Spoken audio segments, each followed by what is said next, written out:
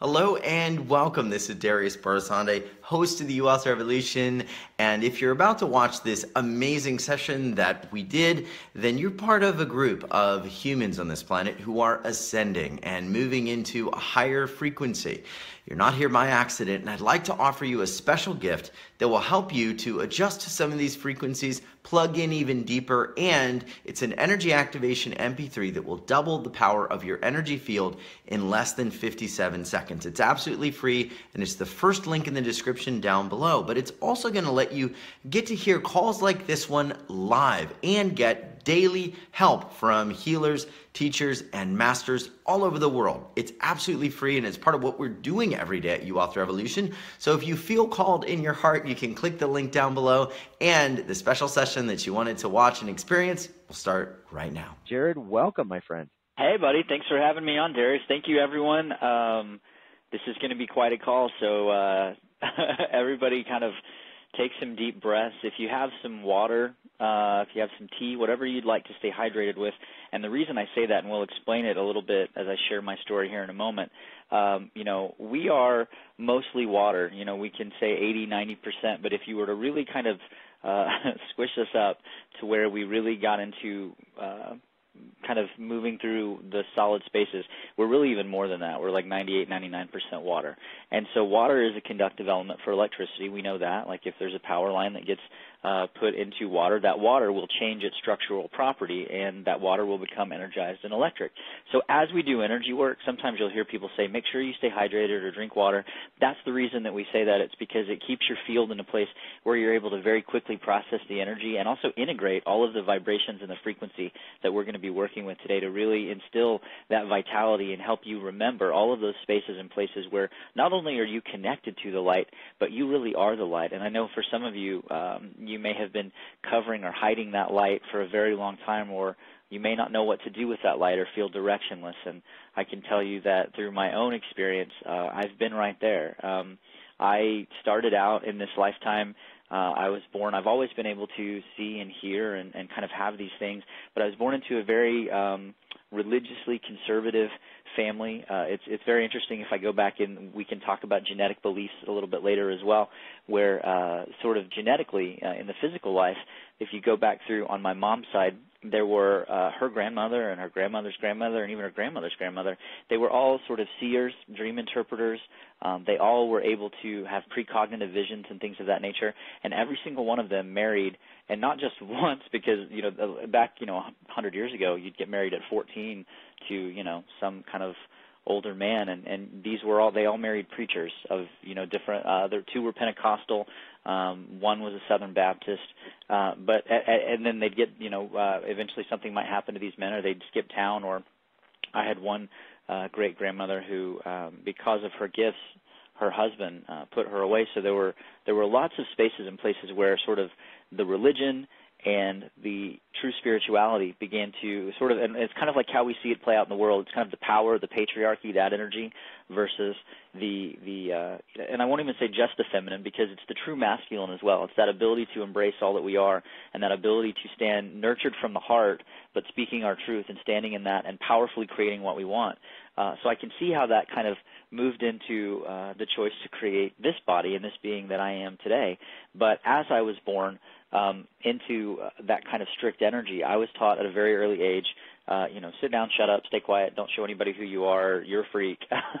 All of those things that many of you have experienced in other ways. You know, we, there was lots of trauma and abuse early on for me, and I know a lot of you have that in your fields as well, and, and that creates a space where we tend to shut down, we tend to feel unloved, we tend to cut off. Um, and all of those things not only affect our health and well-being physically, emotionally, mentally, spiritually, it also affects our ability to love other people. It affects our ability to create the world that we want. And that's why I've titled today Expressive Abundance, because as we begin to lift out of all of that, as we begin to move through that, we find a place where that voice that has been within us, maybe we've silenced it for so many years as I had, um, that voice begins to communicate. And sometimes, uh, and we'll play some tracks to clear out. You know, that voice as we tune into it, there is there is anger there, there may be rage there, there may be sorrow there, and so we're afraid to go back into our heart because we we still feel like if we access our heart, we will be accessing all of those old wounds. So we're going to do a massive massive lifting out of stories. And even if you're just in a space where you go, well, you know, I've worked through a lot of that, but I just keep running into walls. I keep feeling like I'm fighting myself at some level. Um, I'm going to show you where you are fighting yourself and how to let go of that. My own story, going back to my physical body, growing up by uh, age nine i was morbidly obese. By the time i was in uh, junior high i actually I, I don't know if i've ever shared this I, I know darius knows this but i don't know if i've shared it publicly on a telesummit. I actually just fell one day. I just tripped on the sidewalk and because i was so heavy i broke both of my arms at the same time. They just the elbows popped right out of the socket and cracked out. And so um i had to literally be taken care of uh, for about you know eight weeks by people that I didn't really think loved me. So that was that was uh, there were all kinds of interesting things. But so I, I was about at my heaviest, almost 300 pounds, um, and because that was a way for me to move energy. That was a way for me to love myself. I didn't know how to process the energy of who I was because I had to hide it. I had to shut down my heart. And I know so many of you feel like you're not uh, you know you're you're not able to fully be you out in the world. You're not able to express you, and so that was one way that I dealt with that was food. Um, another, you know, there are also other addictions that people develop. So we're going to be looking at all of those physical things. But by the time I had gotten into really high school, um, I was having lots and lots of heart problems, and it really even, you know, obviously the weight uh, wasn't uh, a wonderful helper there, but my heart was out of rhythm, and I was having uh, awful kinds of pulmonary issues and cardiac arrhythmia issues and to where I was strapped to a monitor that I had to carry around for a month just to kind of you know beat my heart back into rhythm um, and this was all before I was even 18. And so by the time I got to college, I just wanted to check out. You know, I didn't feel like life was ever going to get good. Uh, I didn't, you know, I had lost weight at that point. I physically was okay, but mentally, spiritually, I was completely cut off. I had all of these amazing experiences, but I didn't want to open up to them. I didn't want to see them. I didn't want to integrate them because I didn't know I had permission to be who I was. I didn't know I had permission to express. I thought I had to be who the world wanted me to be or who my parents wanted me to be or who I needed to be at work or all of those things. And I was not giving myself permission to be me. And that literally resulted in that heart physically beginning to shut down. And so it was not until the space where I basically just was in bed one day uh, my heart, you know, I'm tachycardic, but it's out of rhythm, so it feels like I'm constantly getting punched in the stomach, punched in the chest.